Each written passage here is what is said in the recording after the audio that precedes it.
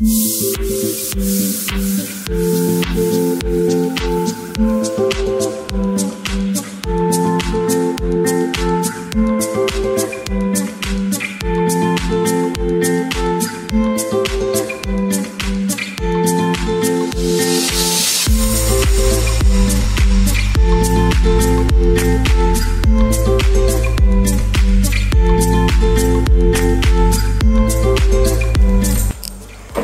नमस्कार दोस्तों, जय माता दी। राधे राधे, आज है आठे और हमारे घर में होती हैं आठे, यानी आठों में कन्या पूजन होता है।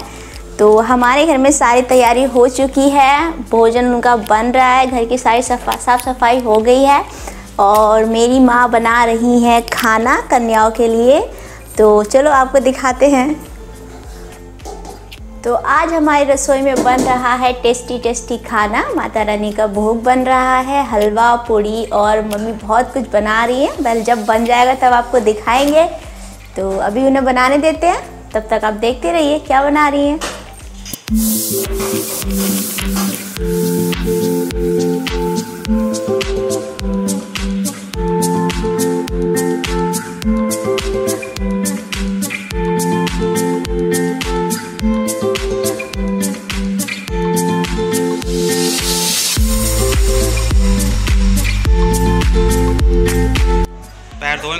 रखो इनका थोड़े थोड़े हाँ थोड़े थोड़े। बस।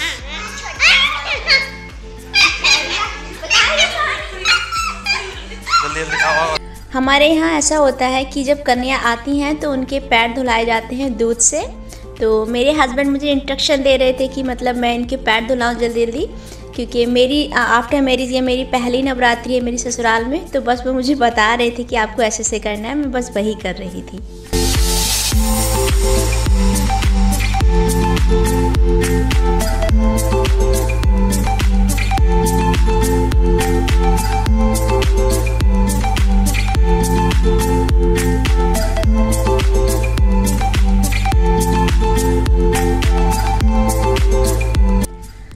हमें यहाँ पर पूरी कन्या मिल गई थी और मतलब ज़्यादा ही हो गई थी, लेकिन फाइनली वो मिल तो गई थी। फिर सब यहाँ पर बैठ गए हैं उनको सबको सेट कर रहे हैं मतलब बैठा रहे हैं उनको ताकि उनको भोजन परोसा जा सके। तो यहाँ पहले मैंने उनको मतलब पत्थर परसी थी, उनका फिर उसमें उनको खाना दिया गया था। अब नवरात्रि दिन होता है, क्या है कि बच्चों को भूख तो होती ही नहीं है। मतलब उनको बहुत ही थोड़ा थोड़ा खाना होता है। आप कुछ भी, कितना भी टेस्टी बना लो या कुछ भी बना लो, उनको बस थोड़ा सा चाहिए होता है। वो भी हम ज़बरदस्ती करते हैं कि आप थोड़ा सा चख लो। तो बच्चे बस कहने से बैठ भी गए थे, वो खा रहे थे, बस थोड़ा थोड़ा किसी को हलवा अच्छा लगा था तो किसी को चने मतलब सबने बस थोड़ा थोड़ा खा लिया था।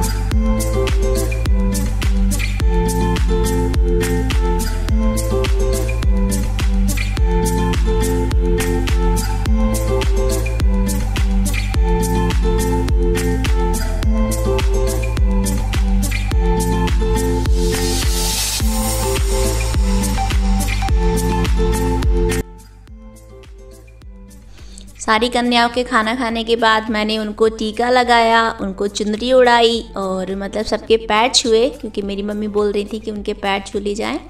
तो मैंने पैर छुए सारी नन्ही नन्ही माताओं ने मुझे आशीर्वाद दिया। सब मतलब वो छोटे छोटे वो आशीर्वाद दे रही थी मुझे, कोई कुछ बोल रहा था, कोई कुछ बोल रहा था। मम्मी भी उनसे कह रही थी कि मतलब मेरी बहू का आशीर्वाद दो तो बच्चे ऐसी दे, आशीर्वाद दे रहे थे। तो बस उसके बाद ये सब हुआ, उनको गिफ्ट दिए गए थे। और मेरे हस्बैंड और मेरी माँ लेकर आए थे बच्चों के लिए हैंड बैग तो हमने उनको, जब उनका कन्या पूजन हो गया था, उनका भोजन हो गया था तो हमने उनको हैंड बैग दिए। बच्चे बहुत खुश हो गए थे और हमने उनको टॉफ़ी भी बांटी थी, क्योंकि छोटे छोटे बच्चों को टॉफ़ियाँ ज़्यादा अच्छी लगती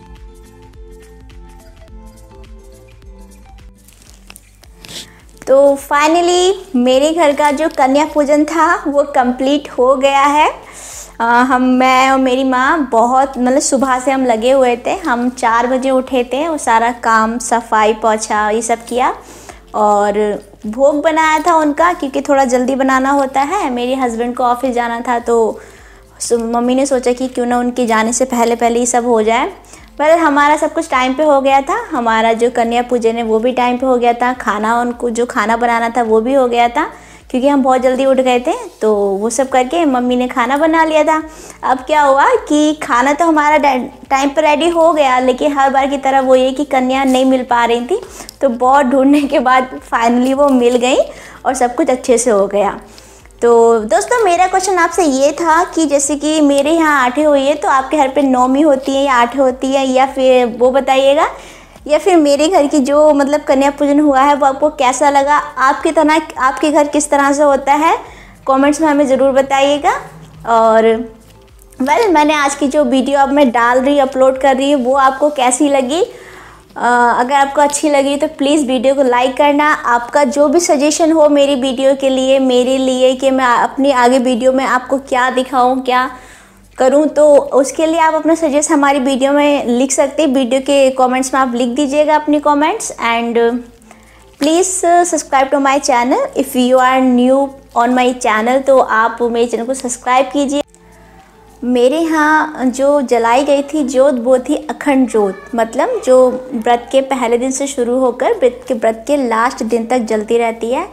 और मैंने रखे थे पूरे व्रत। मैं हमेशा की तरह माता रानी के पूरे व्रत रखती हूँ। तो आपको पता ही होगा कि अखंड जोत जब हम जलाते हैं तो उसका कितना ज़्यादा ध्यान रखना पड़ता है। आप कहीं जा नहीं सकते। मतलब अखंड जोत को छोड़ के आप कहीं जा नहीं सकते। और रात को भी मतलब ये नहीं है कि आप सो गए, आपको वो नहीं है। तो अखंड ज्योत का ध्यान रखने के लिए, वैसे तो हम लोग घर में सब उसका ध्यान रख रहे थे, लेकिन फिर भी मैंने मेरे फ़ोन में मतलब अलार्म सेट करके रखे थे, ग्यारह, बारह, एक, दो, तीन, चार, सुबह पाँच तक। हर घंटे का एक अलार्म सेट करके रखा था, ताकि जब भी एकदम जब अलार्म बजे, मेरी एकदम आँख खुले और मैं उसको देख लूँ कि कहीं मतलब बात ही कम तो नहीं हो गई या उसके अंदर घी तो कम नहीं हो गया तो बस बस माता रानी की एक अच्छी, बहुत अच्छी कृपा रही कि हमारी जो भी अखंड ज्योत हमने जलाई थी, पूरी श्रद्धा मन से, ये मैंने संकल्प लिया था कि मैं अखंड ज्योत को पूरा करूँगी।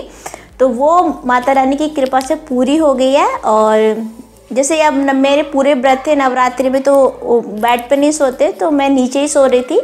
माता रानी के जहाँ पे हमने माता, हमारे जिस रूम में हमारे माता रानी का मंदिर है, वहीं पर नीचे सोना और पूरा ध्यान रखना। तो अच्छी बात ये रही कि सब कुछ बहुत अच्छे से हो गया। थैंक यू जय माता दी. मिलते हैं एक नेक्स्ट वीडियो में. तब तक के लिए टेक केयर आप अपना ख्याल रखें. Bye bye